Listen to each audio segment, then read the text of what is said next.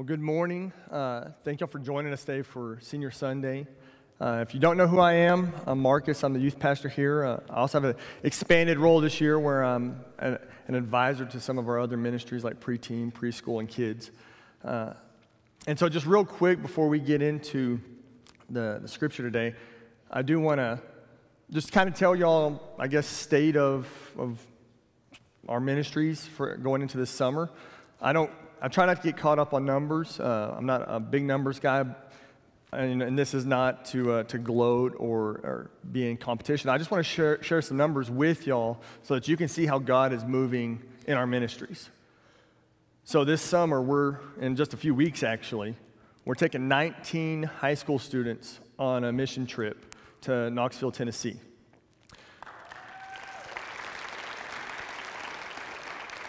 Like I said, that's just in a, a few weeks. And then uh, we're taking 50 middle school and high school students to, to student camp in July. And then we're having our, and this one is, I'm, I'm excited about all of them, but this one's really cool. We're having our first ever preteen camp. Um, we have a preteen ministry, if you didn't know, and that thing is just blowing up. We cannot keep enough Bibles on hand. Um, there's so many of them, but right now there's 15 of them going to camp, and there's like close to 30 total kids, and that is uh, that is the current fourth and fifth, and it's going to transition into being fifth and sixth graders. But that thing is it's blowing up so much that we're actually building them a new a new area inside the student area. Uh, so FYI, if you get a text from me asking for help, uh, if I if I know you can swing a hammer, I'm probably going to be texting y'all. So. Um, and then kids camp, we got 12 kids going to kids camp, and that's amazing as well. And, but probably the, the best, uh, the most important number is seven. So far this year, throughout those ministries, we, we had seven salvations. Yeah. And we're praying, we're praying that there's going to be more. There's going to be more that make that choice. Maybe it's this summer, maybe it's in a few months, or maybe it's on down the road. But we're praying and we're trusting that more will make the choice to passionately follow Jesus. And we have these seniors. And these seniors, this senior group is, is very special to me. Uh, nothing against previous groups. I love y'all too, or future groups. But this, this one is it's special to me and my wife. Um, six years ago, we started going to church here. And five years ago, I started helping in the student ministry, and almost four years ago, I, I came on staff. But this group, I met them when they were in middle school, most of them. A, a, couple have joined us since, but most of these kids I've known since middle school. And so I've grown up in the college ministry with them. Uh, as they've went through, I, have grown as a leader, and, and I've grown up with them. And these guys have They've been there with me through a bunch of stuff. Uh, and they have served our ministry, they have served this church, they, they serve all over the place. Uh, they're constantly helping, and they're when I when I know that we need something, they're the first ones that I call because I know that they're going to get it. They're gonna and they're going to take care of it. And these kids, uh, they're also just a ton of fun. I mean, like they can make anything fun. Uh, even an old church van and a merry-go-round and you know just they can make anything fun. And this this group uh, i love watching them after service if, if y'all if you haven't noticed. They're always the last ones to leave. Like they they congregate and then they go and spend like the next three hours together. Um, they just can't get enough of each other. They just love being with each other. And i want that to like they love Jesus, but they lo- and they love being with each other. And I want that to infect the rest of our group. I want that to infect the rest of our. I want it to infect the rest of our church. Honestly, like it's just so cool to see. And so this group is very, very, very special to me. And so, you know, we sit here and um, I guess I'm going to ask for for y'all to interact with me here because that's kind of what I'm used to uh, sometimes with the youth. But if you could give a piece of advice, maybe it's just a word or, or just a piece of advice to these seniors, um, what, what are some of these words, some of this advice that you would try to impart to them? What's that? Yeah? Anybody else? What? Follow your dreams, okay. So we could, we could probably keep doing this, and I encourage you to. Like, if you have advice to, to give to them, please do. I mean, that's, that's what you're here for, too. But uh, I think if we could all say one thing that we wish that they would have, it would be godly wisdom, right? Anybody with me? I mean, that's probably something that we all need, right? I know I need it. Um, so maybe I'm just talking to, to me and the seniors today, but godly wisdom. I think it's something that they need, but we all need as well. Um, it's something that King Solomon asked for. All right, King Solomon asked God for it. Uh, uh, sorry, I, I learned a lesson from the last time I preached bring water. It helps. But um, so King Solomon, he's a teenager when he became king. And he is stressed out and he's freaking out over all the responsibilities that he has. All right, all the things that he has to do as a leader. And like I said, he's a teenager. And in 1 Kings chapter 3, we, we get this story and we see that Solomon asked God for wisdom, which was pretty wise of him, right? And God granted him his request. And Solomon actually authored around 3,000 proverbs. And today we're going to spend time uh, looking at a few of these. Okay, so go ahead and start turning to Proverbs chapter 3. So, Proverbs chapter 3.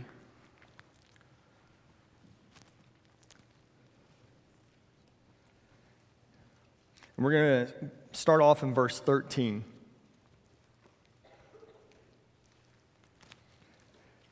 It says, Happy is a man who finds wisdom and who acquires understanding, for she is more profitable than silver.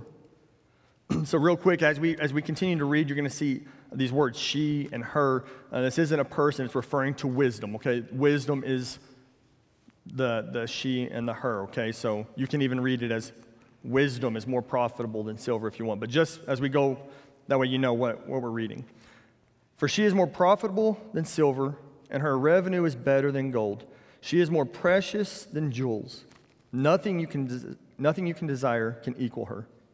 Long life is in her right hand, and in her left, riches and honor. Her ways are pleasant, and all her paths peaceful. I know, I know sometimes uh, in life, us, I me, um, has anybody ever felt like God's ways, his path, it's just, it's burdensome and it's, it's restrictive. I know at a young age, a lot of people see it that way, and probably y'all are, are with me on that. When you're younger, you see God's ways, his path as being just a burden and it's restrictive and it's, it's no fun. But actually, actually, it's freeing. God's ways are freeing and they are pleasant and they are peaceful because it keeps you from enduring any, uh, you know, any more trouble than what life already has out there. Does that make sense? Like God's, there's already trouble out there, but God's path is peaceful. It is pleasant. It's freeing, and it protects you from just excess hurt and struggle. It says that in verse 18, she is a tree of, of life to those who embrace her, and those who hold on to her are happy. The Lord founded the earth by wisdom and established the heavens by understanding.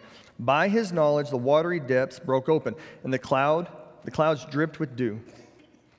Maintain sound wisdom and discretion, my son. Don't lose sight of them. They will be life for you, an adornment for your neck.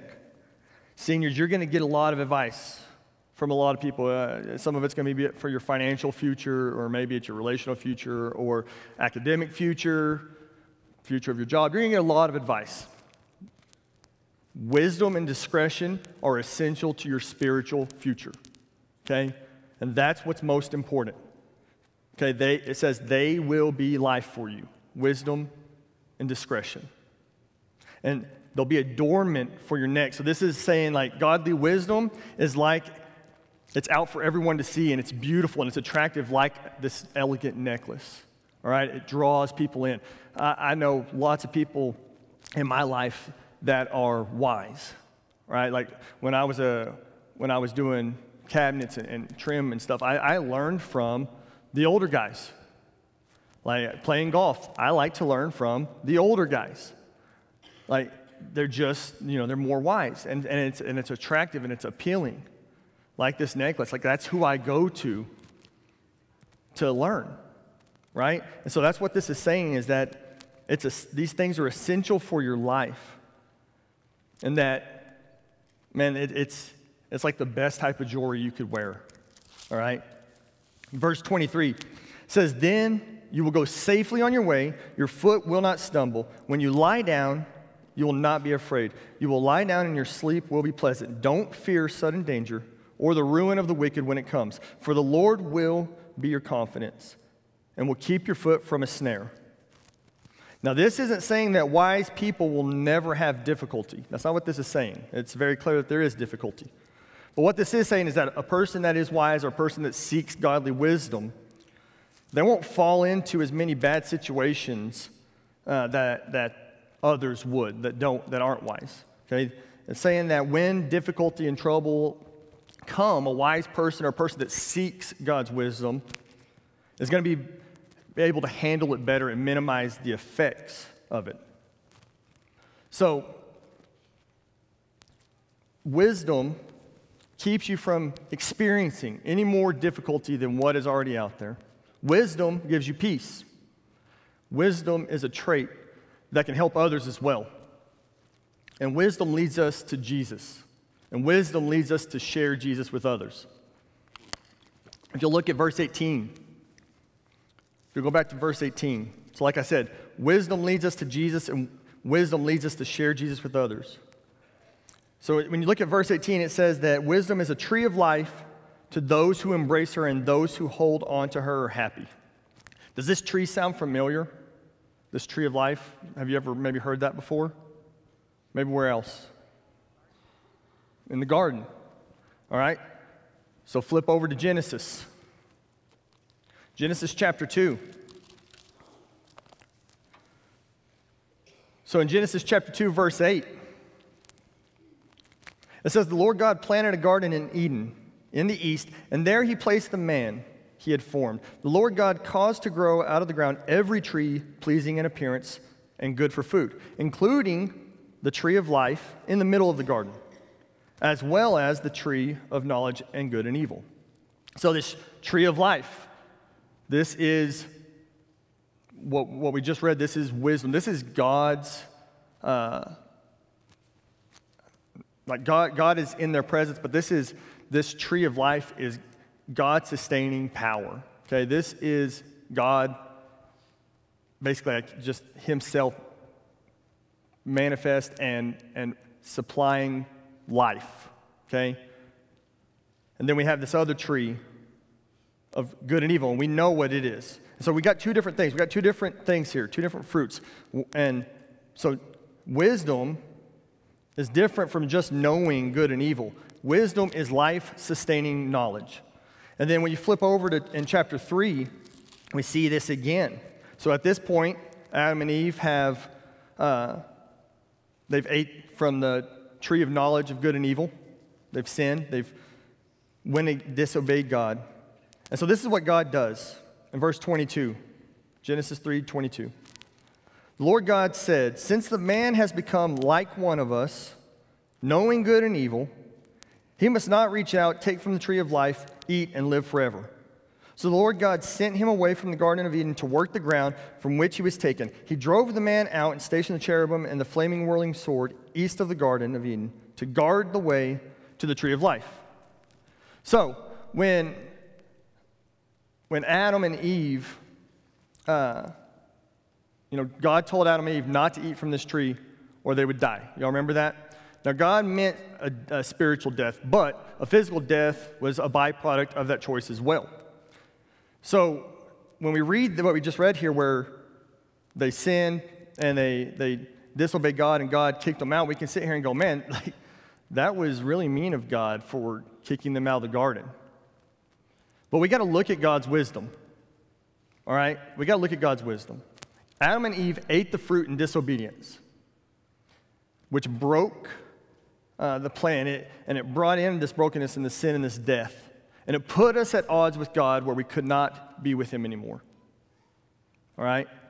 And in His wisdom, God didn't want Adam and Eve to eat from the tree of life and live like that forever. Okay, he didn't want them to be apart from him forever, be broken forever with no hope of rescue. He didn't want that. So he had to kick them out. He had to cut us off from that temporarily. See, he wanted to protect them from themselves. He wanted to save us from us, like a, like a good parent would do. So he had to banish them from the tree of life so that he could send Jesus. See, God banned them to keep death in the equation. Does it make sense? If they would have ate from the tree of life and lived forever, they're broken forever, apart from God forever. There is no death. They're just, they're just apart from God forever. And so God banned them to keep death in the equation because he had a plan. And God used that brokenness that we created to fix what we couldn't. God sent Jesus and he used that variable of death to pay the bill that we owed. And then he defeated death by coming back to life.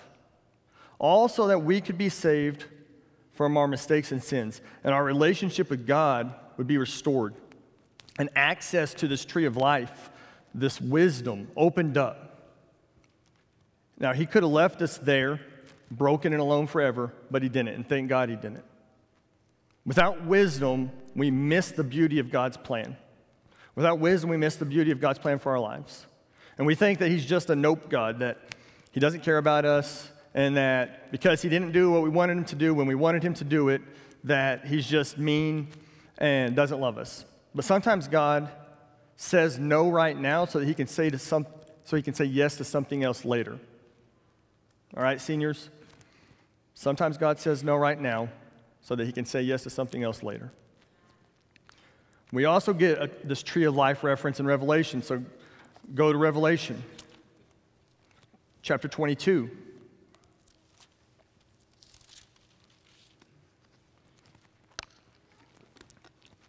So, Revelation chapter 22, in verse 1. Now, as you're turning there, so, so John is getting a glimpse into uh, end times Okay, he's getting a glimpse right here into a new earth and a new heaven, okay? And it says in, in chapter 22, verse 1, it says, Then he showed me the river of the water of life, clear as crystal, flowing from the throne of God and of the Lamb, and down the middle of the city's main street. The tree of life was on each side of the river, bearing 12 kinds of fruit, producing its fruit every month. The leaves of the tree are for the healing of the nations, and there will no longer be any curse. So, a couple of things. So, first off, this river isn't like any river we've ever seen. You, you get it in, in a couple chapters before this that the, this new earth does not have water. Okay, so this river is not flowing from any body of water. What is it flowing from? The throne of God. So, this life sustaining power is coming straight from God. Always has. And it's this never ending supply of life. And we have the tree of life there again. And the very thing that Adam and Eve were cut off from is now available. It's available to, to us and them. Everything is restored. And, and then it ends by saying that God's never going to have to judge sin again because everything's perfect. And then if you skip over just a little bit, um, well, one more thought on, on that. I know this is kind of maybe a little gloom, but uh, the seniors have heard me say this quite a, quite a bit. But we're all going to die one day. I don't know if you knew that or not. But that clock's been ticking the moment that we were born. The moment you were born, that clock started ticking. And when that day comes, when that day comes, those that ask God for forgiveness and gave their life to Jesus here on earth will experience these things. See, in verse 14, so I'm still in Revelation 22, but verse 14, it says, Blessed are those who wash their robes so they may have the right to the tree of life and may enter the city by the gates. See, so God's wisdom heals and restores us through Jesus. And washing these robes is saying that we put our faith in Jesus. We've asked Him for forgiveness and we have washed those robes and He has healed and He has restored us. All right? And if you believe, the, if you believe that here on earth, you'll experience these things. And we get a taste of that while still here on this side, but it's made complete in heaven. We will get to experience what Adam and Eve did for a short time, but then had taken away. And this isn't about a, a, a tree. Okay, it was never about a tree. It was never about the, it was never about the tree of good and evil, and it was never about the, this tree. This is, all, this is spiritual. All right? It was about obeying God. It's about following God. And Jesus, in this, so in, in Genesis, we're talking about a literal tree, and then here in Revelation, you can, you can make the argument that this is Jesus. Jesus is the tree of life. All right? For us today, like if we were to eat from this, this tree of life, it is to be lining up with Jesus. It is to be learning from Jesus. It is to be chasing Jesus. And like I said, if we choose to follow Jesus, if we wash our robes, God's amazing rescue plan is, is completed. And it will be completed, and his promise is kept. Seniors, godly wisdom is the best thing you could chase after because it keeps you from ex- excess suffering and fear, but it leads you to Jesus. All right? Godly wisdom leads you to Jesus. And that's, it's so important for you to understand that for yourself that, this, that Jesus is this tree of life, always has been. Always will be. When we get to heaven, man, it's like, like I said, everything's restored. We sit here now and we go, what in the world's going on? Right? Like, why is there so much hurt? Why is there so much brokenness? Doesn't God want to do something about it? And the answer is yes, He does, and He will. I don't have God's wisdom, so therefore I don't know. I don't know His timeline, and I don't know why. But I can trust that one day it's going to be restored. It's going to be fixed. And just like Scripture said, He's not going to have to judge sin anymore because it won't be a thing. That's the cool part about this last scripture that we read. At this point in the future, Satan's already been defeated. Him and all his followers are defeated. And God has restored everything. And so, this tree that we were cut off from, that was life sustaining, and it was God's wisdom, and that we were apart from because of Jesus, we have access to. And again, it's not access to this tree, it's access to the source Jesus.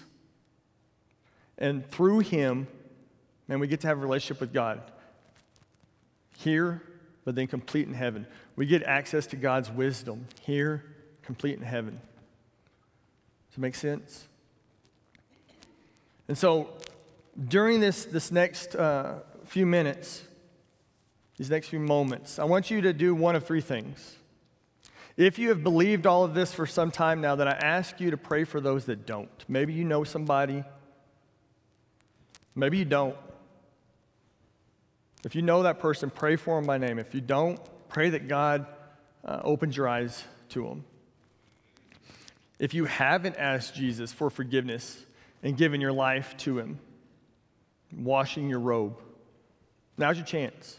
God doesn't want you to go another day without experiencing that life change. All right? He wants you back. That's why he sent Jesus. That's why he did what he did back in Genesis, so that he could send Jesus to die for you. Because he wants you back. And you can make that choice all on your own, either down here or where you're at. Somebody can walk you through it, or you can do it on your own. Families, students, if we have students down here. I want you to rally around these seniors, pray for them. Pray that they will have godly wisdom and that they will share it with other people. So during this, uh, I'm going to pray, and during this moment, I'll, I want you to do one of those three things. All right? Father God, I just want to thank you for today. God, I just want to thank you for these seniors. God, thank you for their families, and thank you for. Uh, just allowing us to lead them. And I pray that we let them well. God, I pray that you direct their, their steps, that you would guide them, that their words would be your words, and that their heart would be your heart. Father God, I just pray for the rest of us in this room that our job is not done discipling, our job is not done sharing you with other people.